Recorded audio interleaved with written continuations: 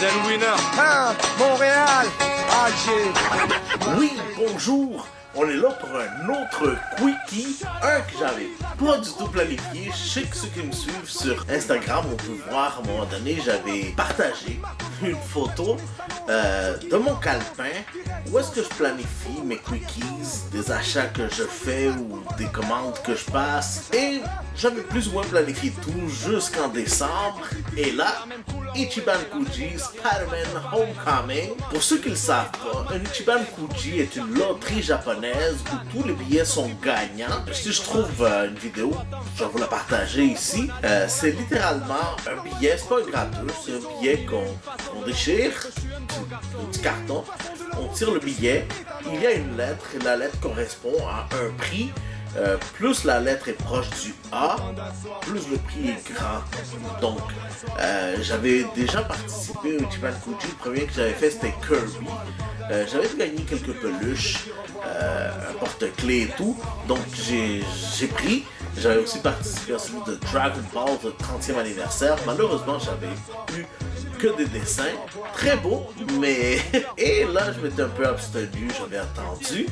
Mais quand j'ai vu le Homecoming, surtout que la lettre A et B, c'était deux figurines différentes, Spider-Man et Iron Man, j'ai pas pu résister. J'ai pris un billet et bang, Iron Man, je vous le présente.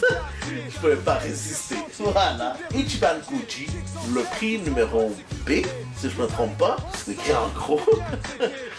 c'est euh, Iron Man, tel qu'on a pu le voir dans euh, Spider-Man Homecoming. Vu que c'est un quickie, on y va, unboxing. Donc le billet va coûter 16 dollars. C'est à peu près le prix d'une pop, un peu plus cher ou avec taxe. Donc euh, je me suis dit, je peux investir ça. Et en voyant le prix que j'ai eu et le prix que ça se vend sur eBay,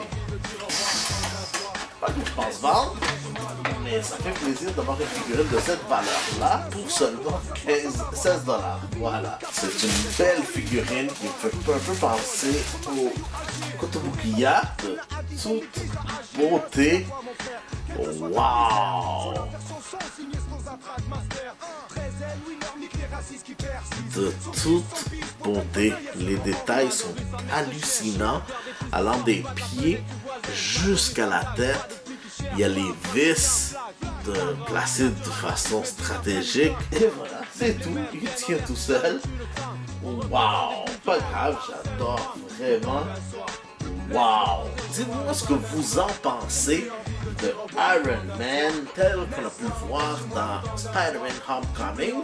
Dites-moi tout ça dans les commentaires, ça m'intéresse. Et comme d'habitude, si vous avez aimé ce que vous avez vu, lâchez un pouce bleu, partagez, ça va toujours m'aider.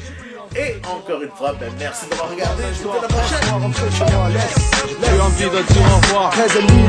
Alger, Marseille, Montréal. J'ai Vendetta, majestique. 9-8.